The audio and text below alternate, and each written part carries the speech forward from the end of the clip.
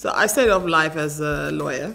And then a few years into my career, I went back to university to study filmmaking.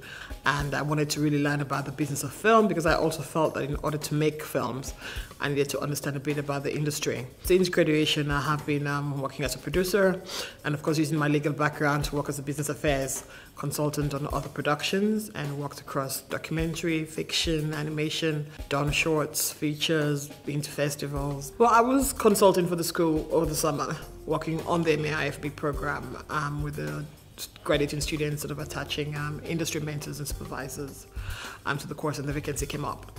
And it felt like a very um, interesting extension of my practice because in a lot of ways it wasn't taking me away from what I was already doing. I was working in the film business and I had to keep up with the trends just to, you know, keep my own production company going. And so by being at the film school, it was a way of me really staying on top of trends, also really getting to know new people who were coming out into the industry because you kind of never know where your new collaborators come from. And of course, LFS is also a very strong brand. It's the oldest film school in the UK. So it was not necessarily going to hurt my CV to, um, to be a part of the, um, the school. I also knew that I would also learn a lot and expand my network alongside being able to contribute to training the next group of executives. As a producer, one of the things that really used to annoy me in film schools was the emphasis that was placed on filmmaking techniques and craft and not so much on the business.